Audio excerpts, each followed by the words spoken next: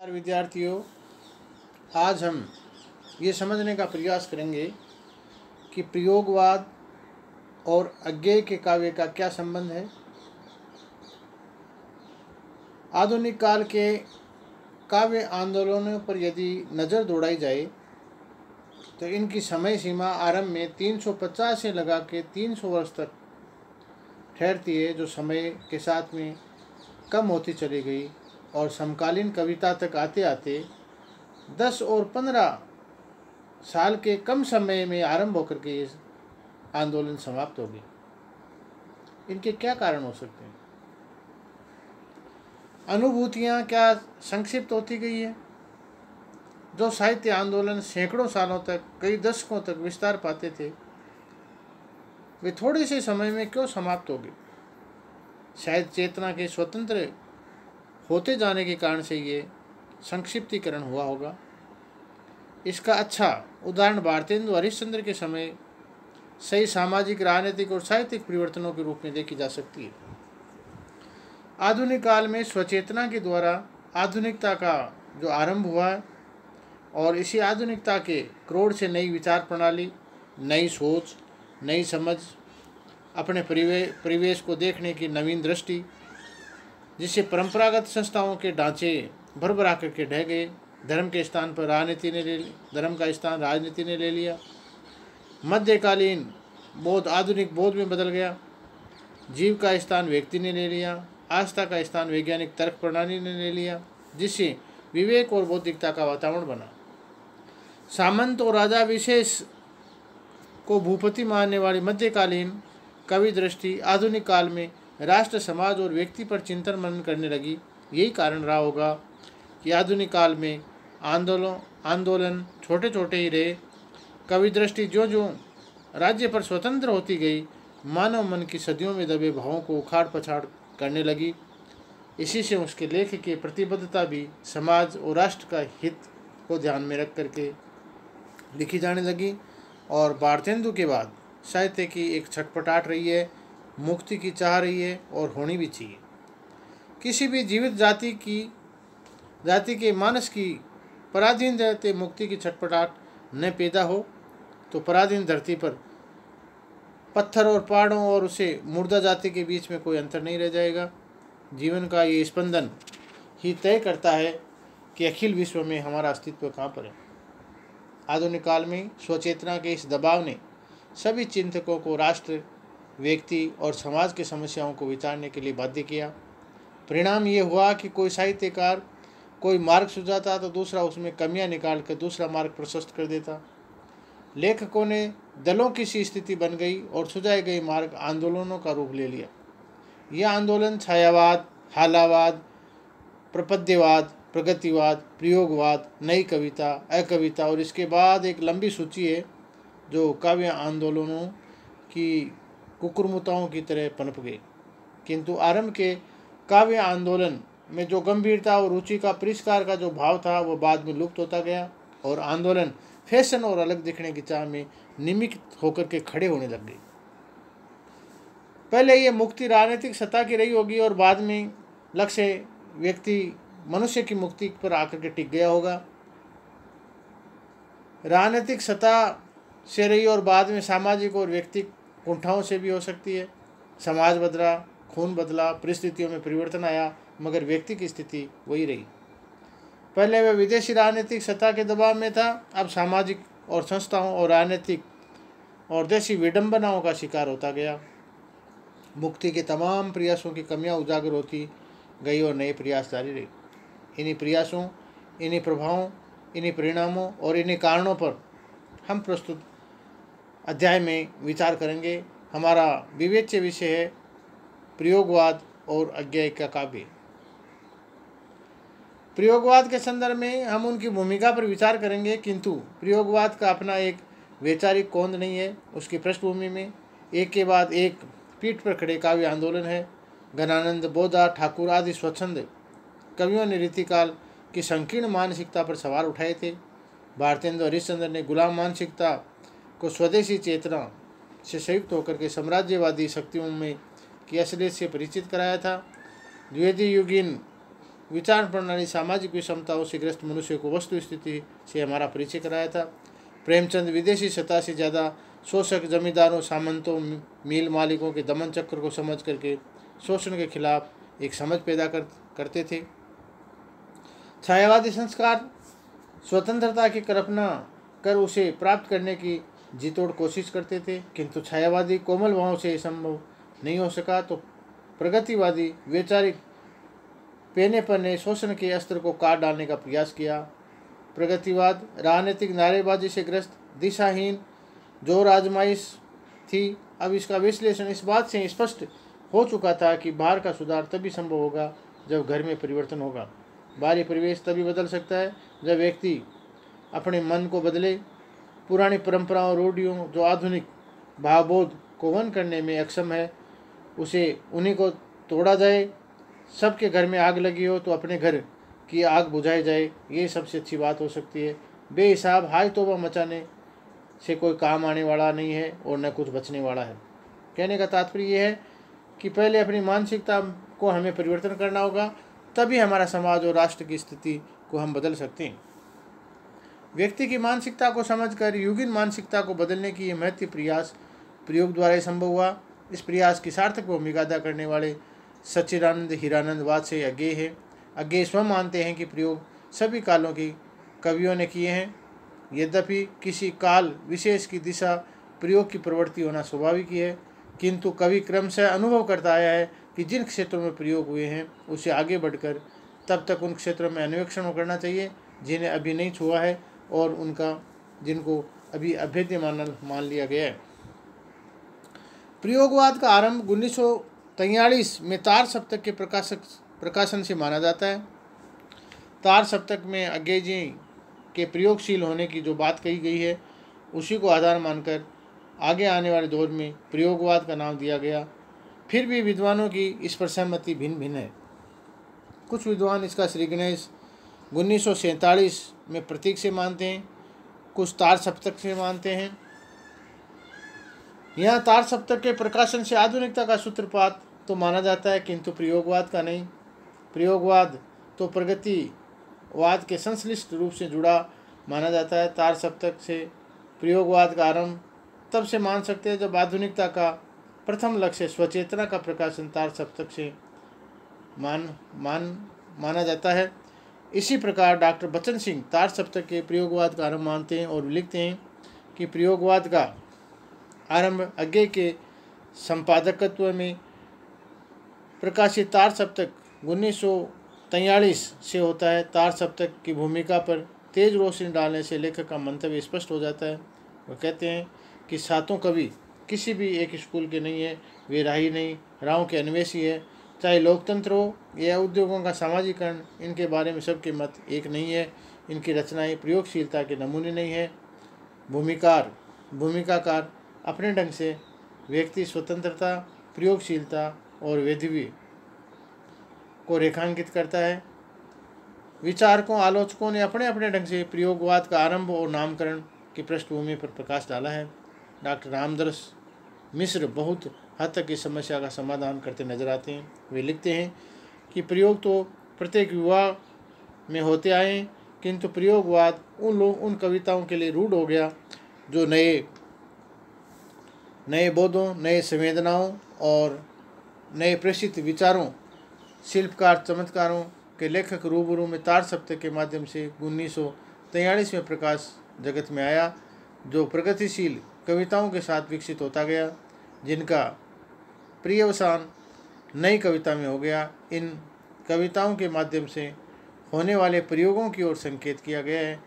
इसी प्रयोग, शब्द को पकड़ के आलोचनों, आलोचकों ने व्यंग्यात्मक लहजे में प्रयोगवाद नाम दे डाला। प्रयोगवाद नाम भ्रामक है, क्योंकि इस नाम से ये भाव टपकता है कि इन कवियों ने प्रयोग के, प्रयोग को साध्य मान करके एक नया वाद खड़ा कर दिया। इसके अलावा प्रयोगवाद के बारे में और भी कई बातें निकल कर के आती है और इनकी परिस्थितियों पर विचार करने से ही बात स्पष्ट हो पाएगी। राजनीतिक परिस्थितियों पर हम यदि विचार करें तो इस दौर में तार सप्तक का जो प्रकाशन उन्नीस में हुआ था, भारतीय राजनीति में बड़ी उथल पुथल थी। विदेशी सत्ता से मुक्ति के लिए तीव्र आंदोलन चल रहे थे। प्रत्येक विचारधारा का व्यक्ति स्वतंत्रता आंदोलन में अपने अपने तरीके से सक्रिय था। मुक्ति के संघर्ष में वामपंथ अपने क्रांतिकारी तरीके से प्रयास कर रहा था। कांग्रेस गांधी जी के अगुवाई में अहिंसात्मक तरीके से भारत छोड़ो आंदोलन चला रही थी। सारा देश तीव्र क्रिया, प्रतिक्रियाओं में लगा हुआ था। आज़ादी पाने के दो तरीके उस समय मुख्य रूप से थे। एक तो सत्याग्रह का और दूसरा क्रांति का। इन तरीकों से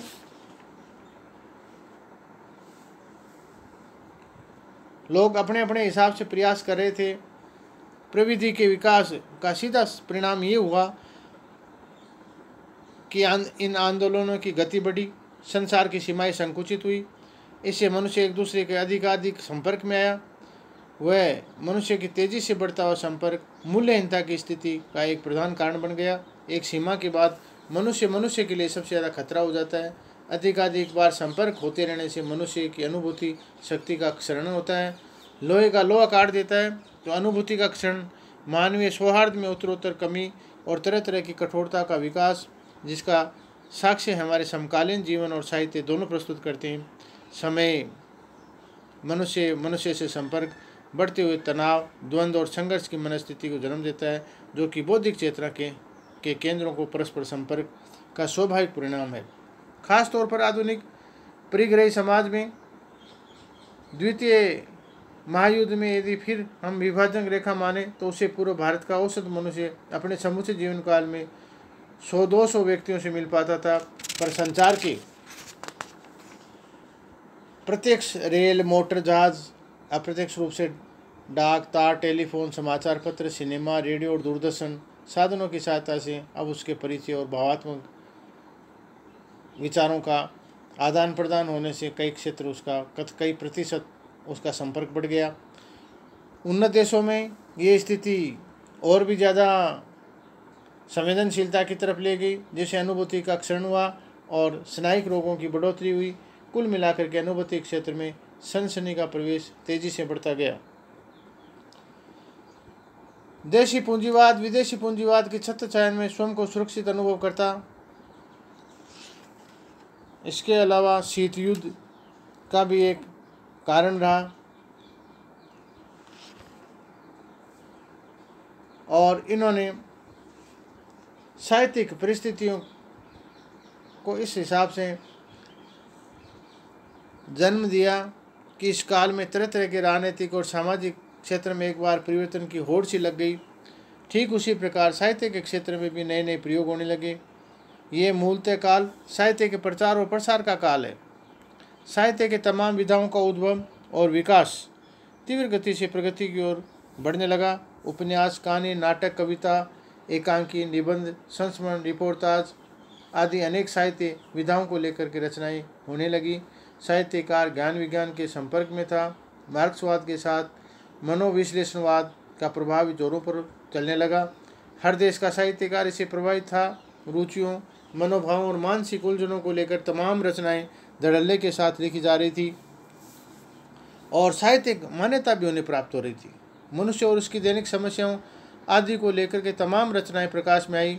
आज जितनी भी नूतन शैलियाँ हिंदी साहित्य में परिलक्षित हो रही है, उन सब का बीजारोपण इसी काल में आरंभ हो गया था। इसी समय हम देखते हैं कि हिंदी साहित्य की स्थिति काफ़ी प्रौढ़ और सुदृढ़ हो चुकी थी। छायावादी साहित्य विकसित था, उसमें विविध प्रवृत्तियों का दर्शन भी हुआ, जो काफ़ी प्रौढ़ थी।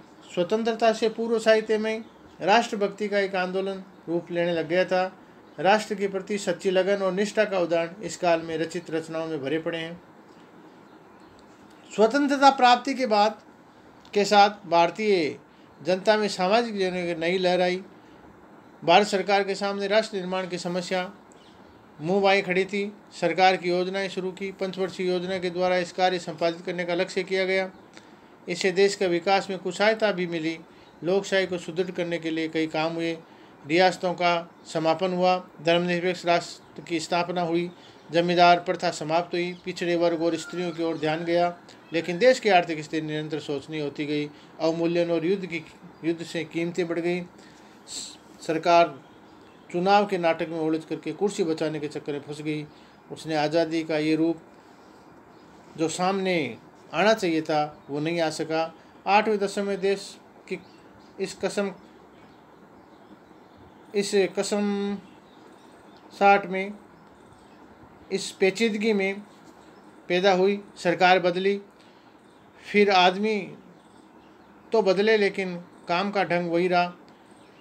स्वतंत्रता प्राप्ति के पश्चात हिंदी साहित्य में प्रगति हुई।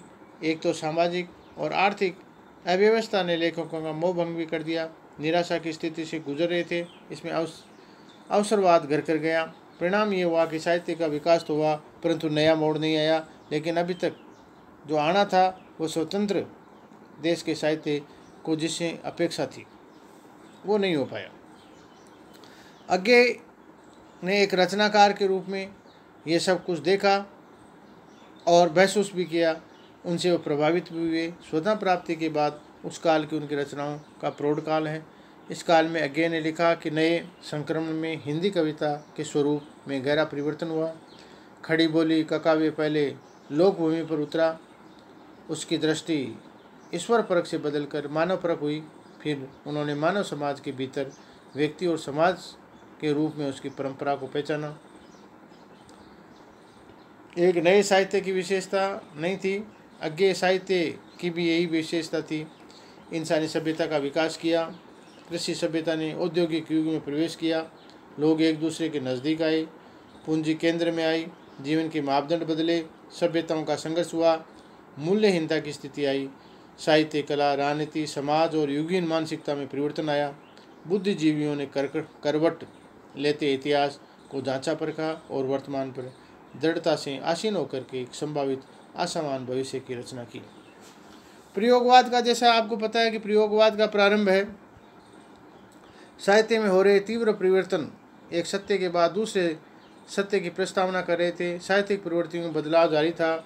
आचार्य रामचंद्र शुक्ल ने लिखा है कि साहित्य जनता की संचित चित्तवृत्तियों का प्रतिबिंब है।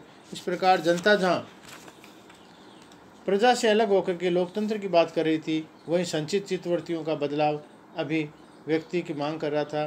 भावबोध भाषा और संप्रेषण में बदलाव हो रहा था, इसी समय विश्व में हो रहे बदलावों का असर भारतीय साहित्य पर भी पड़ा, क्योंकि इंग्लैंड उस समय, भारत उस समय इंग्लैंड का उपनिवेश था। असर बा, उसका असर भारतीय साहित्य पर भी पड़ रहा था, क्योंकि भारत इंग्लैंड के लोगों के मेलजोल से यहाँ संपर्क में था। इस विप्लवकारी समय का वर्णन करते हुए डॉक्टर सरिता माहेश्वर ने लिखा है ये वह समय था जब देश को स्वतंत्रता नहीं मिली थी। राजनीतिक मंच पर विभिन्न प्रकार के समझौते हो रहे थे। शोषण, दमन, युद्ध, संतरास आदि के प्रभाव से सारा विश्व पीड़ित था। द्वितीय महायुद्ध की करुण परिणाम सभी के सामने उपस्थित थे। साहित्य में इसकी प्रतिध्वनि होना अनिवार्य था।